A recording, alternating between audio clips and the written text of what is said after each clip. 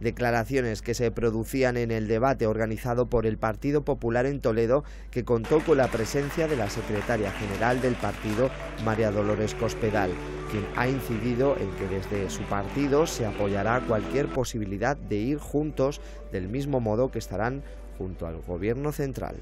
La ministra está dispuesta a pelearlo desde el Gobierno con toda la intensidad de la que es capaz, que como sabemos es infinita, ¿eh? por lograr un acuerdo. Y los españoles estaríamos y estaremos muy agradecidos si todas las fuerzas representadas en el Parlamento español son capaces de llegar a ese gran acuerdo. Y dentro del Pacto de Toledo, decir aquí ofrecemos a los españoles un acuerdo para la garantía del sistema. La ministra de Empleo, eh, Fátima Báñez, ha manifestado que con la propuesta del Gobierno central de reforma del sistema de pensiones, estas prestaciones subirán siempre, recordando que ningún gobierno de cualquier color va a poder congelarlas. Es una reforma para decirle a los españoles que las pensiones subirán siempre, las pensiones subirán siempre.